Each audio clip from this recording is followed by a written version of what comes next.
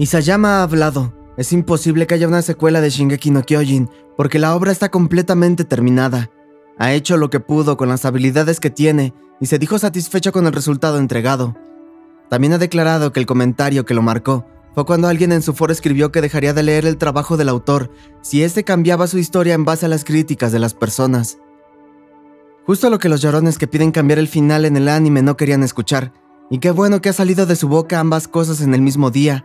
Demuestra que ya está consciente de cómo es la gente y quería terminar con los debates, porque no paraban de preguntarle las mismas cosas en todas las entrevistas. Esto cierra el debate por completo, un debate sin sentido, donde la información se manipulaba al antojo de quien quisiera vender mentiras para su propio beneficio, por personas que no les importaba engañar a sus audiencias con tal de sacarle visitas a la comunidad o dañar la reputación de Shingeki o Isayama. Hay gente que a fuerza se quiere sentir el más listo o el que descubrió la aguja en el pajar. Ustedes saben que tengo como 5 videos donde aclaro lo del Erejizu y aún así sigue llegando gente diciendo que es el hijo de Eren. Hay personas que se van a negar a entender lo que se les explica, por el simple hecho de que va en contra de lo que quieren creer, y bueno, esos casos perdidos ya ni siquiera los toco. Ha sido un gusto ver cómo Isayama en todas sus entrevistas ha ido prácticamente confirmando lo que hemos analizado en el canal durante todo este tiempo, que, sin dar spoilers de nada, las páginas finales significaban lo que siempre analizamos, el ciclo que se repite y que parece de naturaleza humana el volver a caer en los mismos errores, que el humano es el enemigo del humano, el hecho de que Isayama pusiera eso para simbolizar y continuar hasta la última página con la filosofía que la obra nos fue contando todo el tiempo, no para estar planeando una secuela para seguir exprimiendo la historia. Ya lo he dicho muchas veces, Shingeki está perfecto tal y como está. Lo que Isayama quería contar ya lo ha hecho y no ha faltado nada. Nunca se quiso salir de los temas que nos presentó desde el inicio, y así lo hizo hasta el final, cerrando con el final que planeó desde el principio. En entrevistas anteriores ya había aclarado que el final lo tenía desde el inicio, y es obvio, por las referencias que tenemos en el final de cosas que vimos desde el capítulo 1. Es muy gracioso cómo justo antes de que salieran las entrevistas y esta información, este canal de YouTube hiciera este video, y agradezco que lo pasaran por el chat del canal de Telegram, porque se puede usar perfectamente como ejemplo de todos los problemas que vengo contando. Casi 100.000 suscriptores, para sacar un video contando cosas sobre Isayama, donde literalmente todas están tergiversadas, deformadas e interpretadas a conveniencia de la paja mental que el clickbait quiere vender. Parece información sacada de los comentarios de un post de Facebook, como si ni siquiera se hubiese leído las entrevistas que trata de mencionar. Yo por eso les traigo las entrevistas traducidas primero y de la forma más correcta posible, para que sepan palabra a palabra lo que se va diciendo. Ya sabemos cómo se deforma la información en estos tiempos, así que mi misión siempre es mantener a mi audiencia con confianza de que no me estoy inventando nada.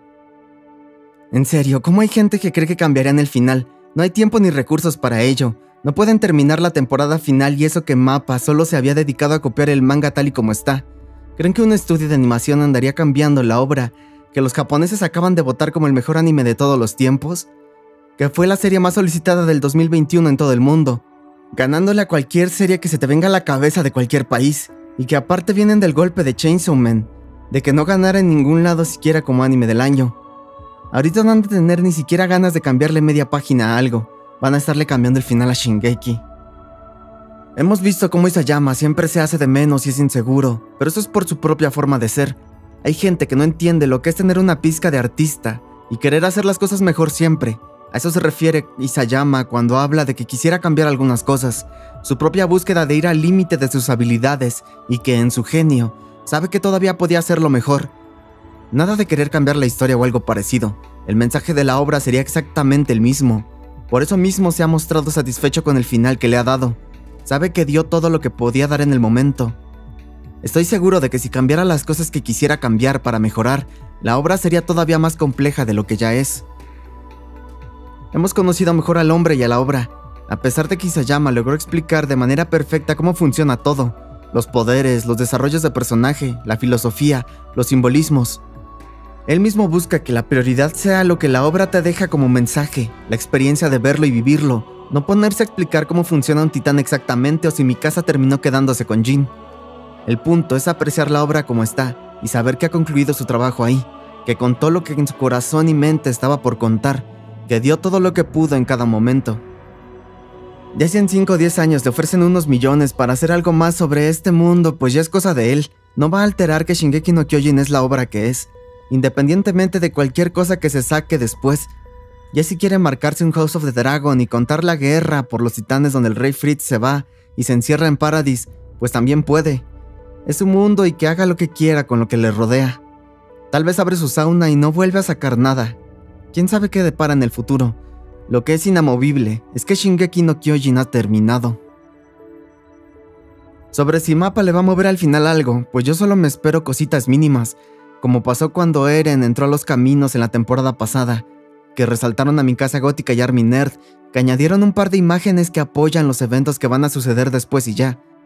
Solo para remarcar más alguna que otra cosita, nada que afecte a la historia ya establecida en el manga.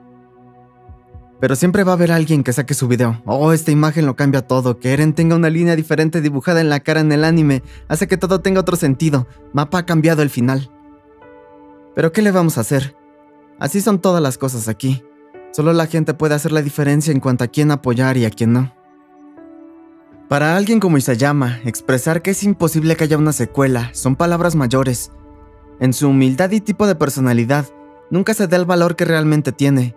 Por eso el interactuar con la gente y recibir su apoyo ha hecho toda la diferencia entre cómo se expresaba al principio a cómo lo hace ahora.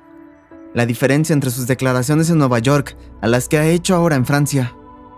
Y parece que casi toda su vida la había vivido con inseguridad su temor de que le cancelaran el manga a la mitad y el haber sido retraído desde su juventud. Yo siempre separo al artista de la obra porque hay muchísimas obras que superan al artista. Pero este tema lo aclaro porque no paran de atacar la obra por el autor cuando no tiene nada que ver, ya que Isayama, por tener tanto éxito, tuvo la libertad de terminar su obra tal y como quiso. La idea no fue alterada y al contrario, solo se volvió más compleja y mejor, acorde a la evolución y maduración de su autor. Isayama con unas cuantas palabras ha callado las bocas de cientos de personas que lo criticaban, y a los pajeros mentales también ya se les acabó el show. Aunque siempre van a rascarle y deformar sus palabras como sea, pero al menos sabemos que es puro circo. Solo queda disfrutar lo que nos falta de la temporada final, parte final, cur final, capítulo final. Y ya para finalizar sobre esas 15 páginas que no promete hacer, sería más un regalo para los fans. Aquí sí me podría imaginar algún fanservice de lo que escucha que le piden.